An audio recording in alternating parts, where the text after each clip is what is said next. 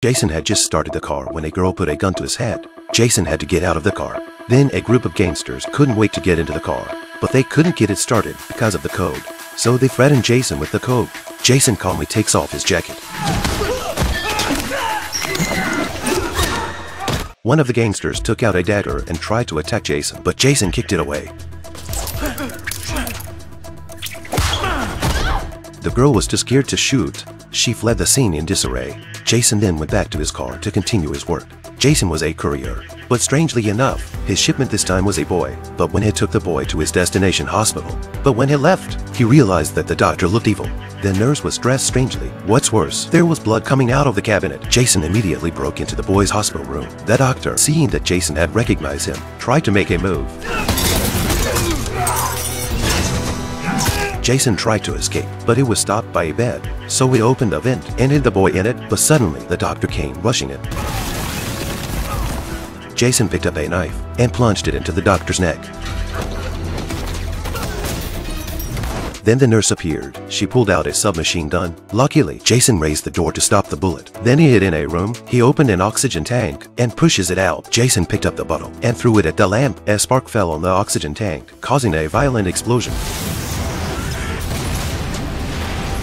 Jason left the hospital with the boy in his arms. But then another assassin secretly planted a bomb under Jason's car. Without knowing it, Jason drove away with the boy.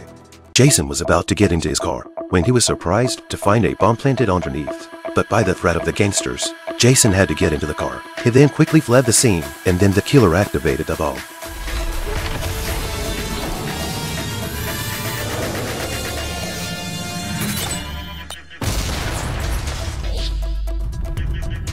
Jason came back from the dead. He vowed to kill them all, so Jason went back to the hospital. He found the doctor on the surveillance camera and found the syringe. Then Jason investigated and found the killer's location. The killer saw Jason. He shoots him right away. Then he retreated as he fought. He jumped down the fire escape. Jason came out after him. Then the killer got on a bus. Jason caught up with the bus in a speedboat.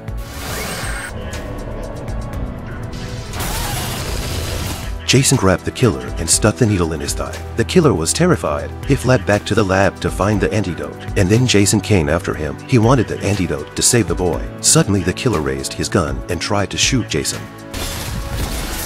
The doctor was terrified and tried to run away, but Jason threw a knife and stabbed him in the thigh. The angry doctor threw the antidote out of the window. Jason leapt and grabbed the antidote. He landed heavily on a cap.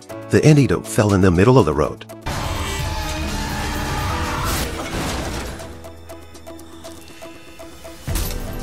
Suddenly, Jason realizes there's another bottle of the antidote. He rushed forward and grabbed the antidote.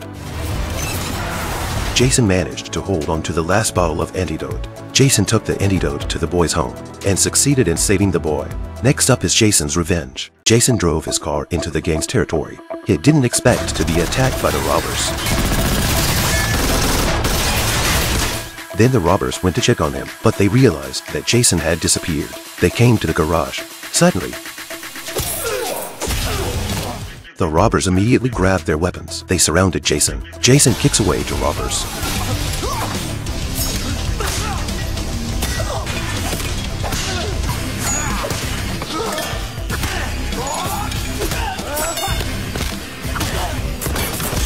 The robbers chop the steel pipe with a knife. A large amount of fog began to leak. Jason seized the opportunity to get the weapon.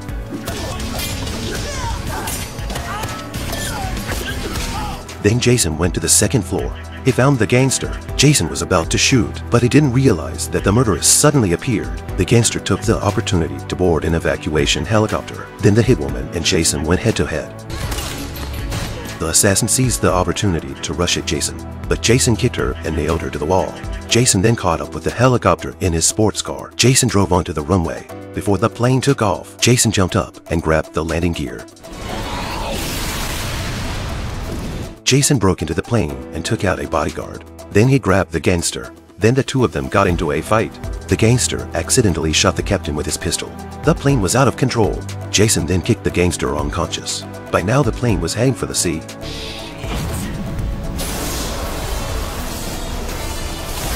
The gangster sank into the water. Jason immediately grabbed the gangster. He rescued him from the water. Then the police arrived and arrested the gangster. Jason also succeeded in saving the infected people with the antidote.